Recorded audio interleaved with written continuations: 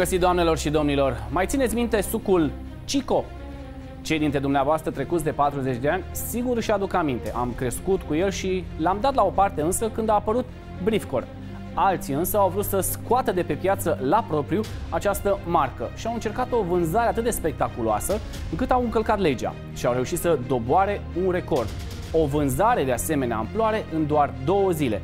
Dar să vedem ce a însemnat dosarul Cico și cei 15 ani cât s-a plimbat acest dosar prin instanțele din România. Dosarul Cico este printre cele mai vechi din justiție. Ancheta a fost începută de parchetul general, iar în anul 2002 Sorin Beraro și ceilalți inculpați au fost trimiși în judecată la Tribunalul București. În 2007, instanța a dispus restituirea cauzei la procuror pentru refacerea actului de sesizare, iar în 2008 dosarul a fost preluat de DNA, care apoi l-a retrimis în instanță în anul 2011. Dosarul Cico a fost o privatizare de succes s-a dovedit a, fi, a, nu, a nu fi până la urmă. Cât de greu a fost dosarul acesta și de la ce a pornit uh, Dosarul a avut un circuit sinuos, ca să zic așa, practic de la demararea investigațiilor până la pronunțarea unei hotărâri definitive au trecut cam 16 uh, ani, aproape 16 ani, 15 mai, 15 și... Uh, Inițial, uh, cauza a fost investigată de procuror din cadrul parchetului în alte curți. A fost sezizată instanța Tribunalul București. În 2002 a fost sezizată instanța. În 2007 instanța a dispus restituirea cauzei pentru refacerea urmăririi penale la procuror.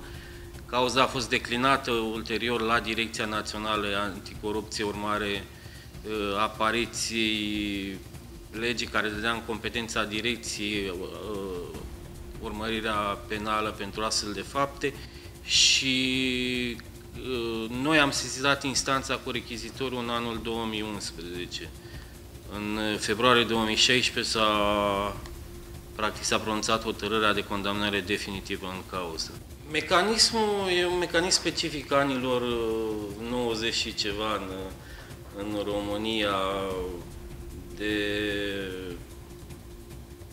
procurare, ă, procurarea unor active, unele profitabile la care statul român era acționar, prin subevaluarea patrimoniului, prin diverse alte operațiuni de creditare a societății și ulterior ă, pe baza debitelor, ă, achiziționarea societății. În cazul ăsta, la SECE Cico SA era acționar majoritar fond, Fondul Proprietății de Stat cu un pachet de acțiuni de 70%, SIF Montenia cu un pachet de acțiuni de 6% și alți acționari minoritari. Între timp, șase funcționari trimiși în judecată în acest dosar au scăpat de condamnare după ce faptele de care erau acuzați s-au prescris. Este vorba de Aline Emil Giurgiu, director general executiv la Fondul Proprietății de Stat, Corneliu Mândrescu, șef de departament și membru în comitetul de direcție al FPS, Octavian Bănică, director direcția gestiune acționariat în cadrul FPS, Nelu Rădulescu, șef serviciu în cadrul aceleiași direcții din FPS, Cornel Nica, vicepreședinte al SEI Muntenia Invest SA și director al Departamentului de Valori Mobiliare imobiliare din cadrul SIF Muntenia, Teodor Horia Mihăescu, director general al SEI Muntenia Invest SA. Potrivit DNA, în intenția de a cumpăra pachetul de 70% din acțiunile deținute de Fondul Proprietății de Stat la SC Cico SA, Sorin Beraru a obținut sprijinul direct al unor funcționari din cadrul FPS, Aline Emil Giurgiu, Corneliu Mândrescu, Octavian Bănică și Nelu Rădulescu. Aceștia au aprobat în mod nelegal la data de 30 martie 1999 cesionarea acțiunilor deținute de FPS la SC Cico SA către Societatea de Investiții Financiare Muntenia SA. Trebuie să vă spun că în perioada anilor 91 Sece Cico Esa era acționar uh, uh, important, deținea 49% din acțiunile unui producător de băuturi răcoritoare de succes uh, în România, firmă internațională. A vândut acel pachet de acțiuni de 49% cred că în anul 98, dacă nu mă înșel, și cu o sumă de peste 9 milioane de dolari. 49% 9 milioane de dolari înseamnă că firma era evaluată undeva la aproape 20 de milioane. Capitalul social, da. Și s-a hotărât să meargă pe Cico în momentul acela. Nu, ă, bineînțeles că Cico practic producea în esență băuturi răcoritare carbogazoase, necarbogazoase, gheață carbonică. Da, băutura Cico era cea cunoscută la modul da, generic, da, da, da, aici da. era o grămadă de da, da, da, da, da. SC Cico SA era o societate comercială la care FPS era acționar majoritar cu 70% din acțiuni, cu obiect de activitate în principal în domeniul producerii și comercializării băuturilor răcoritoare și care deținea un patrimoniu imobiliar, terenuri și spații comerciale într-o zonă comercială foarte bună, cum ar fi halele Bucurobor. Procurorii susțin că actul de cesionare era ilegal deoarece societatea respectivă era propusă pentru privatizare atât pentru luna decembrie 1998, cât și pentru luna mai 1999 1999, iar la momentul încheierii actului de cesionare au fost încălcate mai multe prevederi ale legislației în domeniul privatizărilor. La rândul său, Cornel Nica, vicepreședinte al SEI Muntenia Investisa, societate care administra portofoliul SIF Muntenia, a informat la data de 15 martie 1999 Consiliul de Administrație al SIF Muntenia că aceasta din urmă poate achita doar jumătate din prețul real al acțiunilor, motivând în mod eronat că SIF nu dispune de toată suma necesară. De asemenea, el a propus și revânzarea acțiunilor cu toate că acestea nu intraseră efectiv în portofoliul SIF. La data de 30 martie 1999, Sorin Beraru a cumpărat de la SIF Muntenia pachetul de 76,46% de acțiuni la SC Cico SA prin achiziționare atât în nume propriu cât și pe numele a două societăți comerciale controlate de fapt tot de el. Acțiunile au fost cumpărate pe baza unor ordine telefonice la un interval de timp foarte scurt față de momentul cesionării, astfel încât eventualii ofertanți să nu afle de cesiunea derulată cu o zi înainte, ceea ce ar fi determinat creșterea valorilor acțiunilor în eventualitatea unei licitații. După cumpărarea pachetului majoritar de acțiuni la SC Cico SA, chiar dacă anterior se hotărâse împărțirea dividendelor în sumă de 44 miliarde de lei către acționari, Sorin Beraru, în adunarea generală a acționarilor din data de 8 aprilie 1999, a hotărât să nu mai repartizeze dividendele pentru anul 1998, sumele în cauză urmând să fie reinvestite în activități comerciale pentru care, la acea dată, SC Cico SA nu era autorizată. Astfel, cu ajutorul lui Dumitru Dulămescu, vicepreședintele C al SC Cico SA și Elenei Bujor Vasiliu, Sorin Beraru a reușit să transfere o parte din disponibilul în valută al SC Cico SA, respectiv suma de 3,65 milioane dolari, în contul cooperativei de credit Banca Populară Furnica, unde Elena Vasiliu era director general, și în conformitate cu legislația în vigoare, o cooperativă de credit Banca Populară putea să desfășoare activități numai în beneficiul membrilor cooperatori. Transferul s-a realizat în bază baza unui contract de depozit încheiat la data de 13 mai 1999, urmând ca Elena Vasiliu din acești bani să acorde credite unor societăți comerciale controlate tot de Sorin Beraru. A doua zi de la constituirea depozitului, Comisia Națională de Valori Mobiliare a anulat prin ordonanță actul prin care SIV Muntenia a vândut pachetul de 76,46% de acțiuni, ordonanță care nu și-a produs efectele imediat pentru că a fost contestată. În aceste condiții, după ce au fost acordate credite către firmele controlate semnate de Sorin Beraru, Dumitru Dulămescu și Elena Vasiliu au înlocuit contractul inițial de depozit cu unul falsificat în care era prevăzută o clauză penalizatoare cu 25% din valoarea depozitului în situația unei retrageri înainte de scadență. În același dosar, Dumitru Dulămescu, fost vicepreședinte al Consiliului de Administrație al SC Cico SA și Elena Bujor Vasiliu, fost director general al Cooperativei de Credit Banca Populară Furnica, au fost condamnați la câte patru ani închisoare cu executare pentru spălare de bani. Curtea de apel București a admis apelul DNA și a majorat pedepsele date celor trei de Tribunalul București în octombrie 2015, instanță care îi condamnase la câte trei ani de închisoare. Judecătorii au lăsat însă nesoluționată acțiunea civilă formulată de părțile civile SC Cico SA și Autoritatea pentru Valorificarea Activelor Statului împotriva celor trei condamnați. În proces, Cico SA se constituise parte civilă cu suma de 3.650.000 de dolari, iar Avas cu 3.112.454 de lei.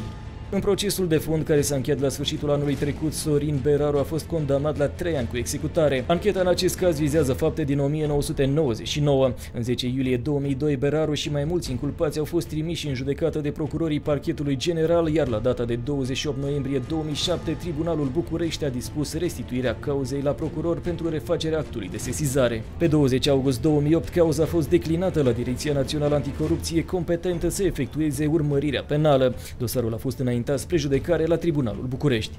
DNA arăta atunci că în 2011, în intenția de a cumpăra pachetul de 70% din acțiunile deținute de fondul proprietății de stat la SC Cico SA, Beraru ar fi obținut sprijinul direct al unor funcționari din cadrul FPS, respectiv al lui Giurgiu Alin Emil, directorul general executiv, Mândrescu Corneliu, director departament buget finanțe și Bănică Octavian, director direcția acționariat și Rădulescu Nelu, șef serviciul din cadrul FPS. În 30 martie 1999, aceștia au aprobat în mod nelegal cesionarea acțiunilor acțiunilor deținute de FPS la SC Cico SA către Societatea de Investiții Financiare SIF Muntenia SA.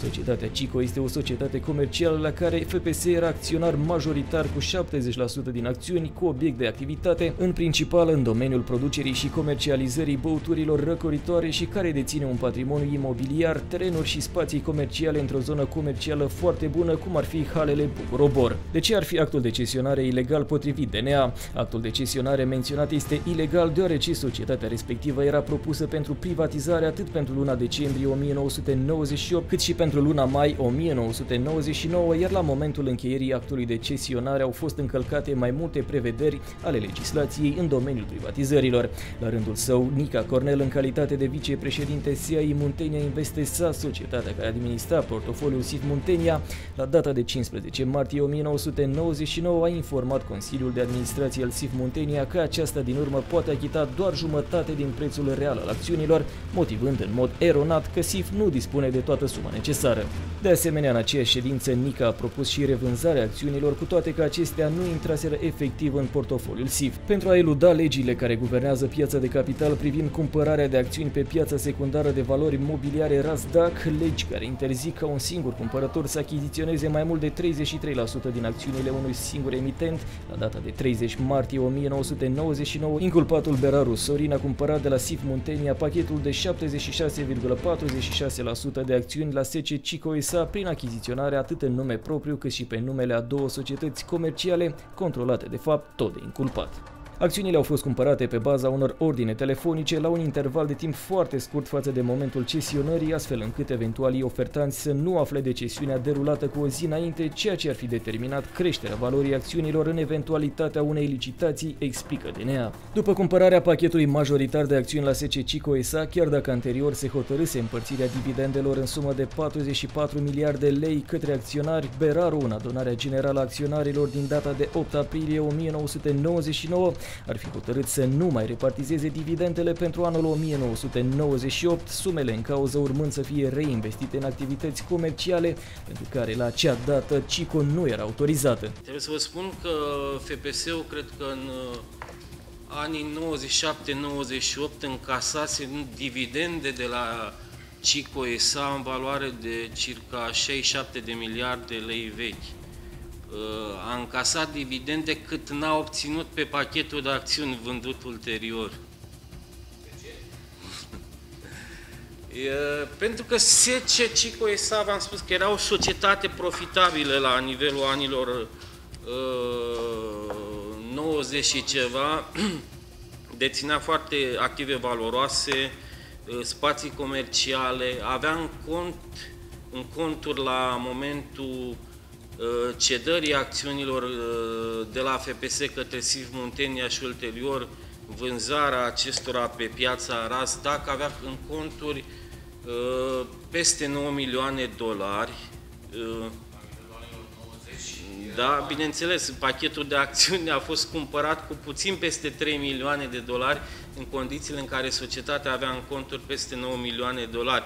Nu mai discutăm de celelalte active de care v-am zis, spații comerciale, uh, terenuri, clădiri, da, da, da, clădiri. Uh, e clar că au beneficiat de sprijinul unor funcționari din cadrul Fondului Proprietății de Stat și SIF Muntenia, ESA, de altfel acei funcționari și au fost trimiși în judecată pentru uh, săvârșirea infracțiunilor de abuz în serviciu în formă calificată, contra intereselor publice în formă calificată, însă din păcate a intervenit prescripția răspunderii penale pentru faptele acelor funcționari, dat fiind uh, și intrarea în vigoare a noului cod penal uh, la 1 februarie 2014, când au fost redus semnificativ pedapsa pentru infracțiunile contra patrimoniului.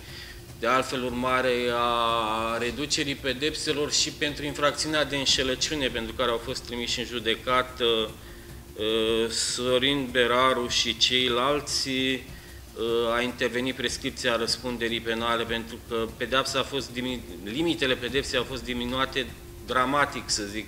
Maximul era de 5, este pe noua încadrare de 5 ani închisoare. Cred că aici legiuitorul ar trebui să intervină cumva pentru că sunt fraude mari în care uh, statul poate fi parte vătămată și pentru care poate interveni rapid prescripția răspunderii penale, dat fiind limitele pedepsei extrem de reduse. Au fost uh, atâția ani, a fost tărăgănat cumva dosarul acesta. El a ajuns la DNA în 2008, da. în 2011 trimis în judecată. Era trimis în judecată, sentință în 2015 prima sentință, în octombrie, cred că octombrie 2015 și 1 februarie 2016 hotărârea definitivă. La definitivă, sentința a fost mai mare decât, în, decât cea anterioară. A fost maximum, dar, cum am spus, 5 ani. Nu, nu, maximul nu era, pe, discutam de infracțiunea de înșelăciune. Pe infracțiunea de spălare a banilor, maximum era de 10 ani închisoare și pe vechea lege, nu? De ce credeți că s-a tărăgănat atât dosarul acesta? E cumva și acesta un alt mecanism, cumva, persoana care ajunge în instanță pe un dosar ca acesta? Am, au mai fost cazuri, chiar cu dosare instrumentate de DNA, să se tărăgăneze, să schimbe statutul persoana respectivă de la un termen la altul, pentru ca ulterior să beneficieze cumva de prescripția aceasta E clar că în, acea, în această cauză a intervenit tergiversarea soluționării de foarte multe ori. Bine, cauza a fost și pe la Curtea Constituțională, știți că a fost perioada aia până în anul 2011 când se ridicau Uh, excepții de neconstituționalitate, cauza mergea la Curtea Constituțională, era suspendată judecata pe toată perioada asta, a intervenit în alta curte la un moment dat și a zis că perioada cât uh, cauza este suspendată, urmare formulării unei astfel de excepții, uh, nu intră în calculul termenului de prescripție. uh, Cauzele în mod general au un, uh, practic un ciclu procesual, 3-4 ani este un termen decent pentru soluționarea unei uh, cauze penale, cauze complexe de fraudă financiară. Uh, aici, de la prima sesizare a instanței, discutăm în anul 2002, cauza este restituită în 2007 pentru refacerea urmăririi penale. Existau fel de fel de tertipuri ale inculpaților de a tergiversa soluționarea unei cauze, de a o împinge spre termenul de prescripție. Uh, cred că s-a exagerat foarte mult în perioada până la apariția noului cod penal și codul de procedură penală cu regimul nulităților era, se, da, se extinsese, cred că nepermis de mult acest regim al nulităților. De altfel, să ajungi ca după 5 ani să uh, restitui o cauză e un pic cam uh, exagerat. De altfel, ăsta e unul din beneficiile uh, un, actualei proceduri penale, procedura de cameră preliminară, că nu te mai poți trezi cu restituirea unei cauze după 5 ani de judecată, cum a fost situația în speța de față, dacă cauza trece de camera preliminară, care are oricum o durată rezonabilă în timp, nu mai, pot, nu mai poate fi restituită cauza. Sorin Beraro, principalul inculpat, deținea 49% dintr-o companie extrem de mare de băuturi carbogazoase și vorbim despre una dintre companiile de talie mondială. Revenim însă cu informații imediat după publicitate.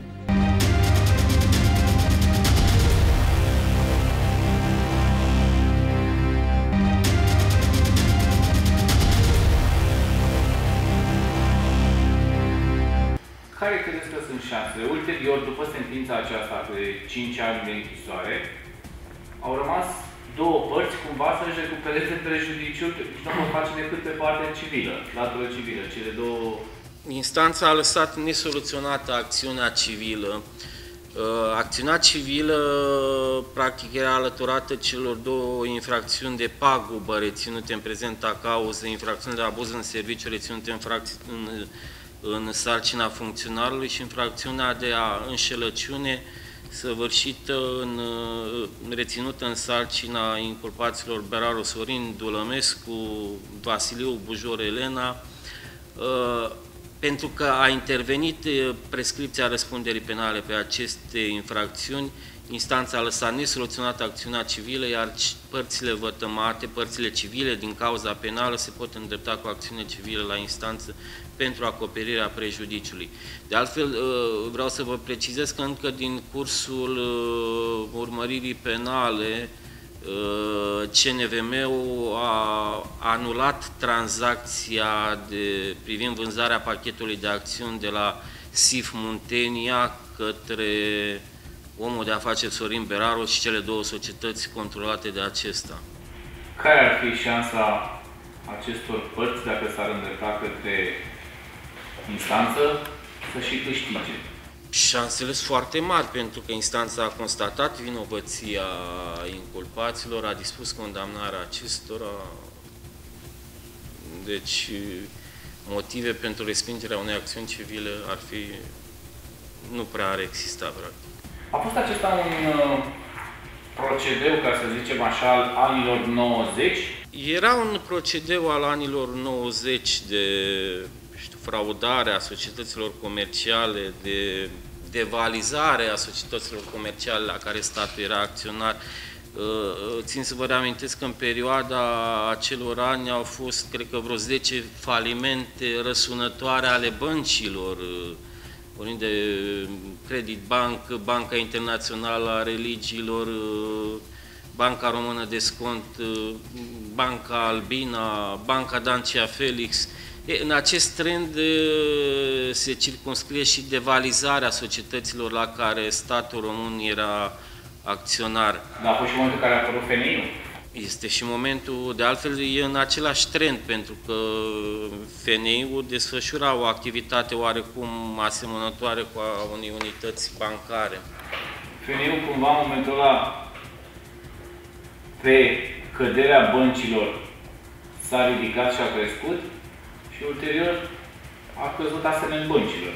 Nici nu avea cum să supraviețuiască ca având în vedere schema de ajutorare sau de circuitul de restituirea unor sume pe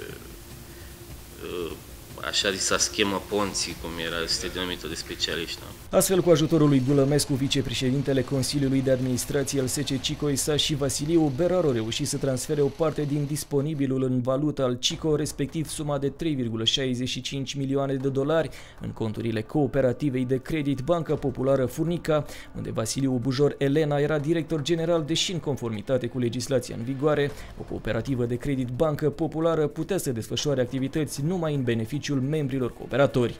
Transferul s-ar fi realizat în baza unui contract de depozit încheiat la data de 13 mai 1999, urmând ca Vasiliu din acești bani să acorde credite unor societăți comerciale controlate tot de Beraro. A doua zi de la constituirea depozitului, Comisia Națională de Valori Mobiliare a anulat prin ordonanță actul prin care SIF Muntenia a vândut pachetul de 76,46%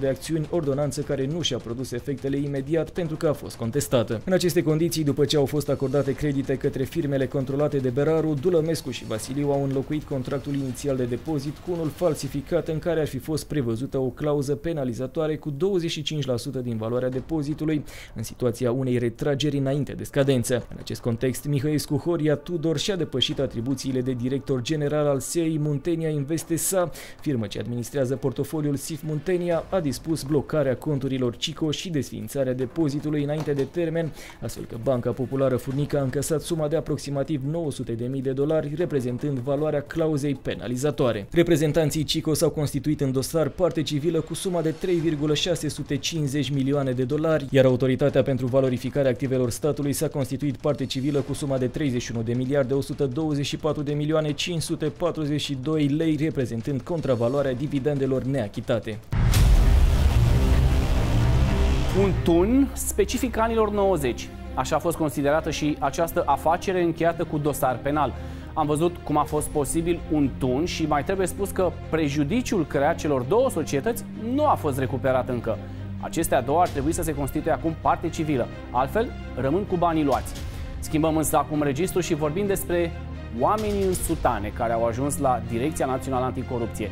De foarte mulți ani se tot vehiculează ideea că biserica este stat în stat, fără impozite, cu foarte multe terenuri primite și în plus cu bani primiți de la guvern, de obicei în fiecare an electoral. Dar nu vorbim despre acest lucru, ci despre acuzațiile oficiale ce le sunt aduse în aceste zile celor din biserică, mai exact în alt preasfinția sa, Teodosie.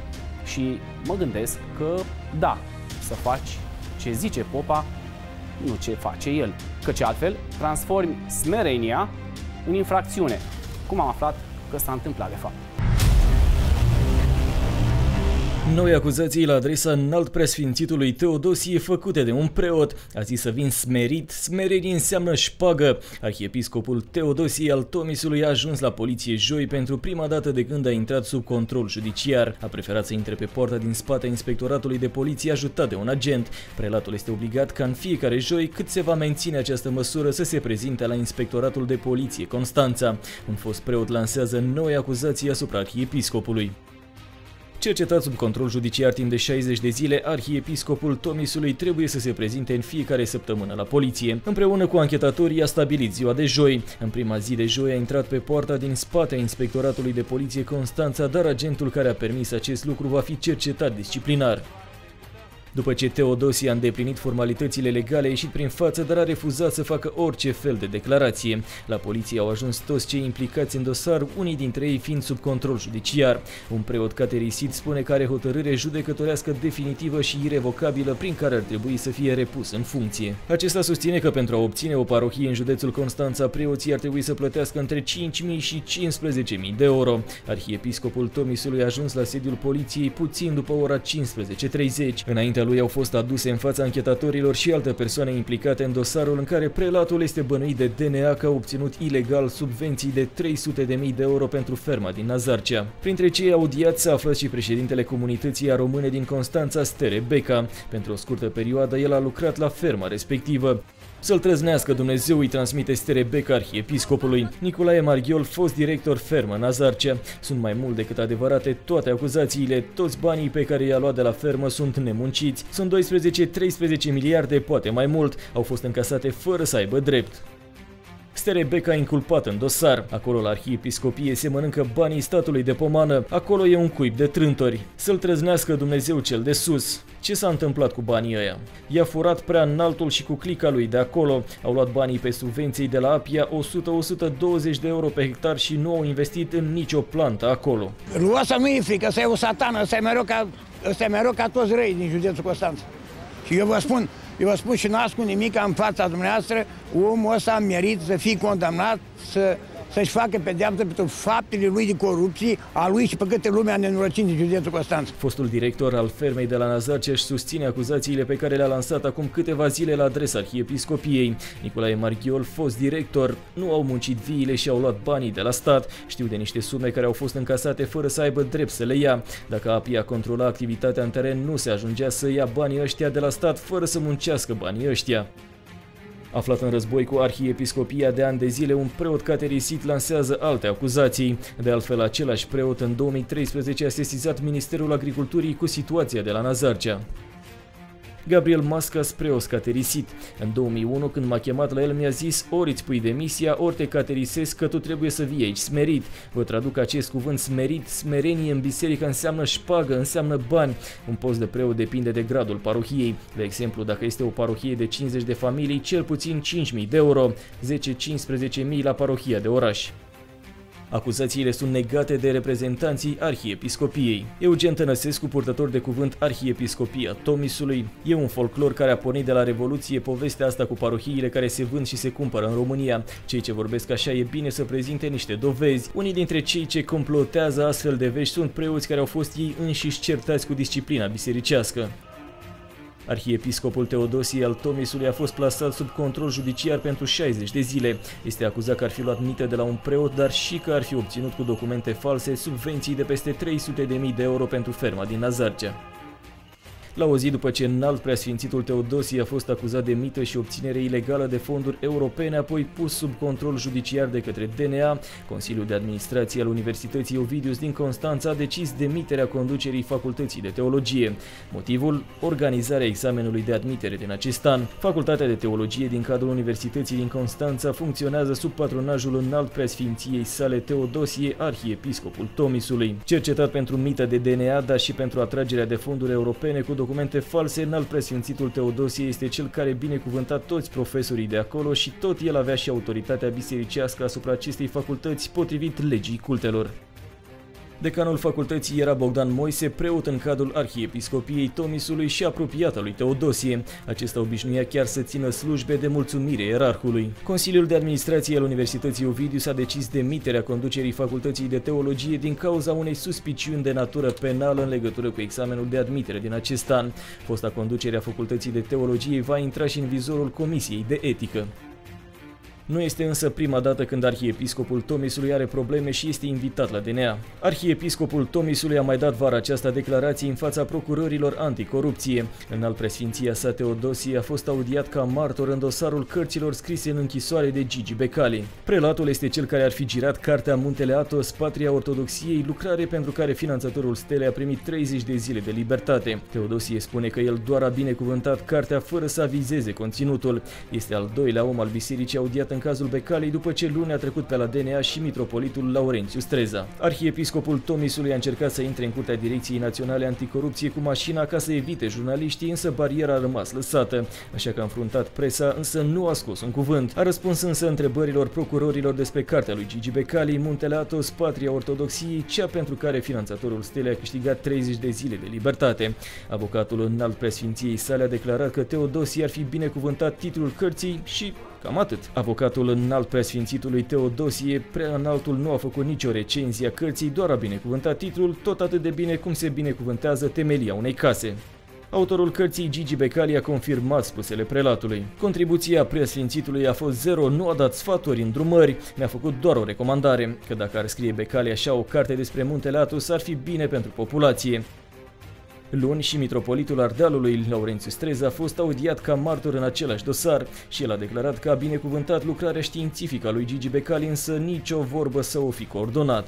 Direcția Națională Anticorupție anchetează modul în care finanțatorul Stele a scris atunci când se afla după gratii 5 lucrări care au adus în total 150 de zile de libertate. Seria de cercetători științifici care au produs cărți după gratii numără sute de exemple și a dus chiar la modificarea legii privind felul în care un deținut poate primi o reducere a pedepsei. Și nu este tot căci prin 2009 26 de preoți din București și Constanța au depus contestații la Direcția Națională Anticorupție la adresa arhiepiscopului Tomisului în alt preasfințitul Teodor così.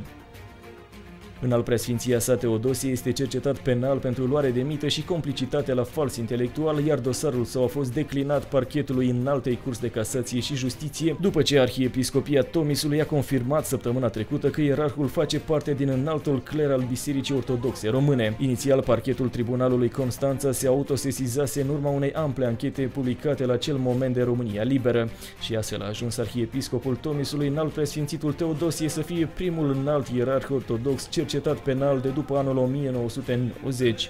Sfătuit de avocații, arhiepiscopul Tomisului refuza să facă declarații. Ieri a spus întreagăt că nu comentează filmul prezentat de România Liberă pe care nici nu l-ar fi văzut. Despre cei care au făcut plângere la DNA a spus doar Dumnezeu să ierte. Purtătorul de cuvânt al Arhiepiscopiei, Eugen Tănăsescu, avea însă pregătite dosarele preoților care făcuseră plângeri la DNA. Este posibil să dorească răzbunare pentru că dânsii au avut sau au probleme disciplinare în Arhiepiscopie. De aceea există organe ale statului abilitate să cerceteze dacă plângerile sunt reale sau nu. Probabil că asta va face și DNA. De asemenea, orice om are dreptul să-i placă sau nu de preasfințitul Teodosie, a spus purtătorul de cuvânt al Arhiepiscopiei jurnaliștilor de la evenimentul zilei. Chemați-o pe Maica Cum comentați acuzațiile care vi se aduc? Ce acuzații? Ați luat mită? De unde a luat? Ați deturnat fonduri europene? Filmează aici, hai! Ce vrei să Filmează aici! Filmează Filmează aici, icoana! Doamnă, luați mâna de pe mine, luați mâna de pe mine. Dumneata ia mâna de aici! Filmează icoana mai Dar ce filmează? Fața ta Luați mâna după mine! De ce dai în mine? Cum îndrăznești să dai în mine? Lăsați-l în pace, nu mai filmat nimic! Ce vrei să filmezi? Și ce, ce filmezi? Bă, dar până acum ce n-ați apărut aici, mă? Ce n-ați apărut până acum, mă? Ce? De ce n-ați apărut până acum, mă? De ce n-ați apărut? Da, în fiecare duminică n-ați dat față apărut. Să ne rugăm? De ce nu?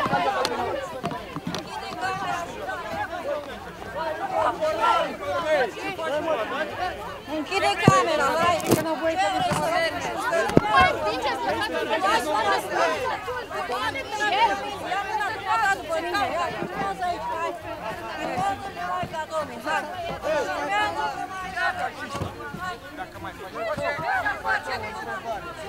Tănăsescu susține că de fapt aceste acțiuni în justiție sunt o coaliție a răului și înalt preasfințitul Teodosie este doar un cap de pod într-o campanie care va răscoli presa în continuare, este doar începutul. Față de presupusele acuze de corupție de luare de mită, el spune, este o greșeală să socotești donația către biserică drept șpagă, șpaga presupune o condiționare și, în fond, biserica într-un fel este autonomă. Pentru cei care au făcut plângere la DNA se află titlul unei biserici din eforie Nord, Florentin Leica, care a investit peste 500.000 de dolari în 2001 în construirea lăcașului de cult. A pus o singură condiție ca preotul paroh Vasile Guriță, care a pus umărul la construirea bisericii de la temerie, să slujească acolo. În luna decembrie 2008 însă, însoțit de trupele Dias și agenți de pază, în al preasfințitul Teodosie a descins la eforie și l-a înlocuit pe preotul paroh. Când scandalul a ajuns în presă, l-a căterisit. Nu mai putem da înapoi, ne jertfim pe altarul corupției, lumea trebuie să știe ce face prea înaltul, spune preotul Guriță. Tot el susține că a fost de două ori la înalt preasfințitul Teodosie împreună cu Florentin Leica. Voiau să-l convingă să-i lase să instaleze bănci în biserică. Ctitorul i-a dat câte 500 de dolari și prea înaltul i-a luat, ba chiar și-a mângâiat barba cu ei înainte de a-i băga în buzunar, mai spune el potrivit evenimentul zilei. I-a adus pe toți la sminteală, a dat preoții afară din biserici, a făcut împrumuturi bancare în numele său de Mirian, Macedon, Petrescu și altele ca Teodosie Snagoveanul, i-a pus pe preoți să semneze în alb, a girat până și cu palatul arhiepiscopal și casa parohială. Toate documentele sunt depuse la DNA. Eu înțeleg ca un ierarh să slujească pe Domnul Iisus, nu să facă afaceri, spune Florentin Leica. Toți banii s-ar fi dus la construirea mănăstirii Arinii Dornei din Suceava, care aparține arhiepiscopiei Tomusului. Ionela Mustață, fost jurist la Arhiepiscopia Tomisului susține că împotriva lui înalt preasfințitul Teodosie sunt depuse 26 de contestații din partea unor preoți din București și din Constanța. Decizia prea fericitului Daniel va fi grabnică și dreaptă, s-au adunat prea multe, spune femeia. Ionela Mustață este soția fostului preot paroc de la Băneasa, Marius Mustață, caterisit pentru că a cerut bani pentru plata muncitorilor care au ridicat mănăstirea Rinii Dornei și cele câteva hoteluri de lux din incintă. Familia Mustață a depus plângere la DNA împotriva înalt preasfințitului Teodosie pentru abuz în serviciu și acte de corupție încă din anul 2007. Să facem un rezumat. Primele plângeri au fost în 2007. Au fost audieri, anchete, s-a declinat competența, a urmat audieri în alt dosar acum câteva luni. Acum, o smerenie de câteva sute de euro și întreaga conducere de la Facultatea de Teologie din Constanța a fost trimisă să îl găsească pe Dumnezeu cel adevărat, nu pe cel de pe bancnotele americanilor.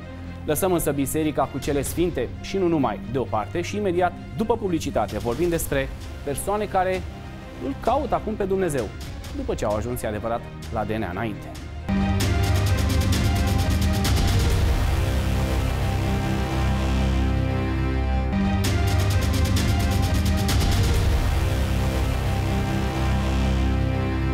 A aflat că mai are un dosar penal, iar colegii parlamentari au votat pentru urmărirea penală a ei. Vorbim acum despre Elena Udrea și nu numai, la rubrica Audiații Săptămânii.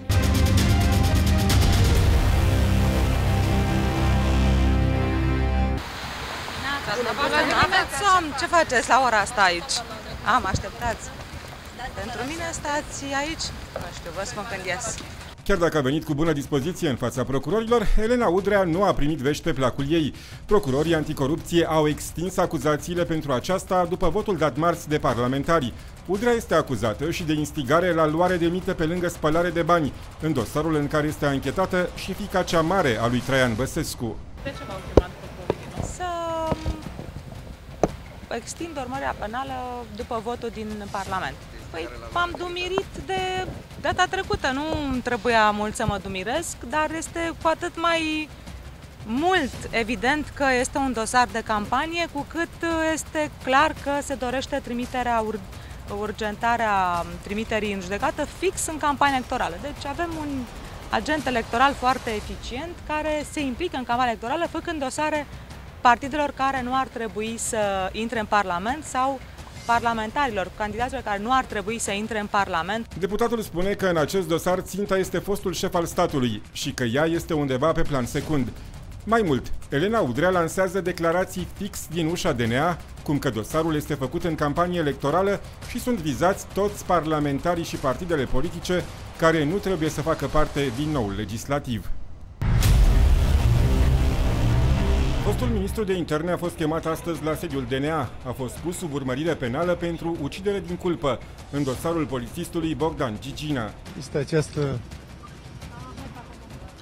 această cruce pe care o să o duc toată viața, o tragedie, cer iertare familiei, știu ce înseamnă să ai un deces în familie, am trecut prin așa ceva, repet, este o mare tragedie pe care nu și-a dorit nimeni, nu veneam de la restaurant, nu veneam de la cărciumă, veneam din timpul serviciului. Fostului ministru i s-au reproșat mai multe lucruri referitoare la ce s-a întâmplat în noaptea în care a murit tânărul polițist. În urma cercetărilor, nu spun eu, și viteza mea și viteza uh, mașinii care ne însoțea de poliție era sub 60 de km pe oră. Mama lui Bogdan spunea că i-ați ordonat șoferului să-și continue Ascultați-mă, s-a oprit mașina, iar, uh, iar uh, polițistul după mașina pe care ne, ne însoțea, care era și nașul lui Gigina, ne-a făcut semn să, să plecăm. Potrivit procurorilor DNA, Gabriel Oprea ar fi solicitat să beneficieze de însoțire cu echipaje de poliție rutieră în permanență, încălcând astfel legislația. Anul trecut, pe 20 octombrie, agentul de poliție Bogdan Gigină, care conducea o motocicletă, în timp ce îl însoțea pe Gabriel Oprea spre casa fostului ministru, a avut un accident în urma căruia a decedat. Doamnelor și domnilor, aceasta a fost emisiunea din seara aceasta. Însă, data viitoare, sper să avem invitații în platou pe Dacian Cioloș. Avem un scaun aici pentru el, pe Vlad Voiculescu, ministrul Sănătății și pe Raed Arafat. Să vorbim despre ce a fost la colectiv și ce anume s-a schimbat în anul ce s-a scurs de la tragedie. Am învățat ceva, noi ca societate, instituțiile statului direct răspunzătoare, pentru că, în mod cert, în viețile multora s-a schimbat ceva. Părinți au rămas fără copii, iar supraviețuitorii au rămas cu traume și o viață dată peste cap, cu vise ce nu le mai pot fi îndeplinite vreodată. În demersul nostru am vorbit cu reprezentanții ai celor trei. Am trimis mail-uri, am dat telefoane. Acum așteptăm confirmarea. Sunt Marius Saidu și ne vedem luni seara la 21.30.